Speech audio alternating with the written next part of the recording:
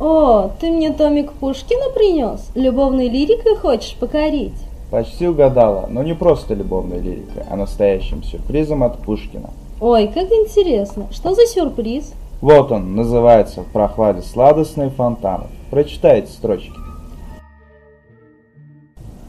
Его рассказы расстилались, как эреванские ковры, и ими ярко украшались гиреев-ханские пиры.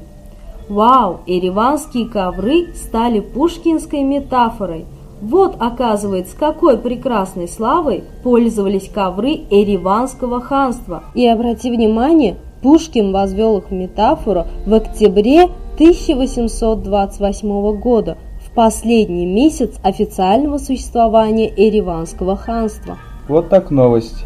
А ведь многие уверены, что ханство было ликвидировано в феврале, сразу после подписания Туркменчайского договора.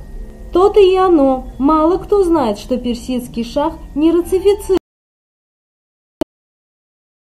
28-го. Но несмотря на это, царь Николай I уже в марте издал указ об образовании Армянской области на территории Эреванского и Нахчеванского ханств.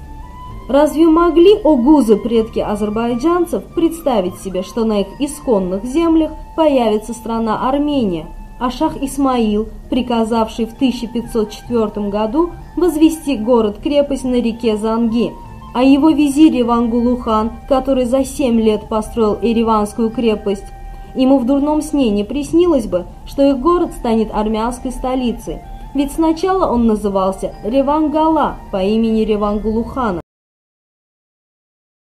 Добавилась буква «И».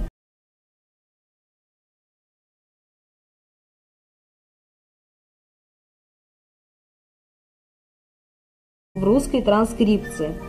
Так вот почему Пушкин писал «Эреванские ковры». И это значит, что российское дворянство знало и высоко ценило прекрасные ковры азербайджанской Эревани ханского периода, а не армянского Еревана. Иначе Пушкин написал бы армянские или ереванские ковры. А давай посмотрим, что есть в инете об эреванских коврах. Хорошая идея. Вот нашел. Книга «Азербайджанские ковры». Ереванская группа. Посмотри, как красноречивы узоры на наших ереванских коврах.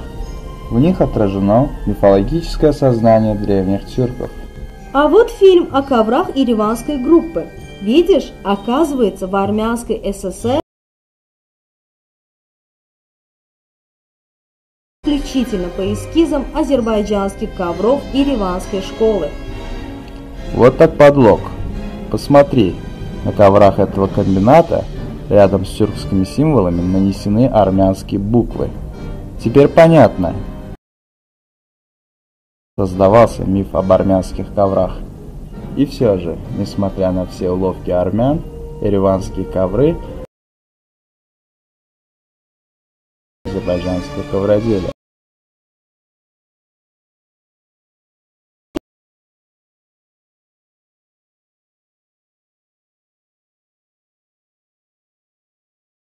Говорил Томик Гюго. Конечно, помню. Кстати, классно сказал Гюго.